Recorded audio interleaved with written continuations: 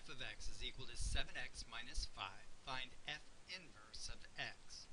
Well, let's first of all write down the process for finding f inverse of x.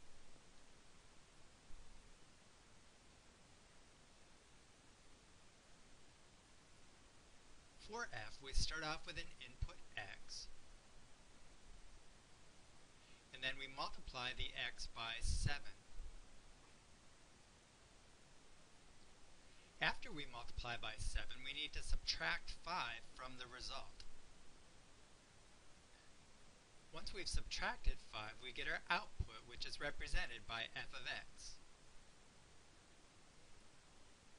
To find the inverse function, we need to reverse the order and apply the inverse action at each step.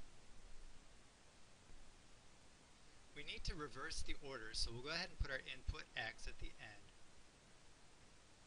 work our way backwards, remembering to apply the inverse action at each step. The inverse action of subtracting is adding. So instead of subtracting 5, we'll need to add 5. Then we need to undo multiplying by 7. To undo multiplication, we use division. So we'll divide by 7. And then finally, we'll get our output and the name of this function is our inverse function, so we'll end up with f inverse of x. To find a formula for f inverse of x, we just need to apply the process. Start off with x and add 5. Next, divide the result by 7.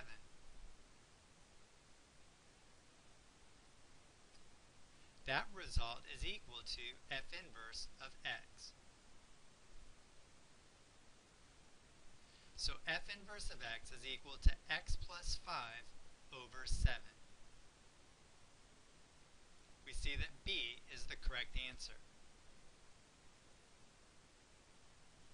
An alternative way to find the inverse function is to solve y equals f of x for x and then interchange the x's and y's.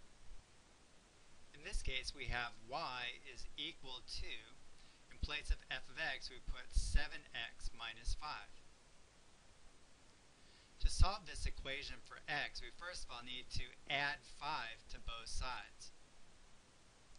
We get y plus 5 is equal to 7x.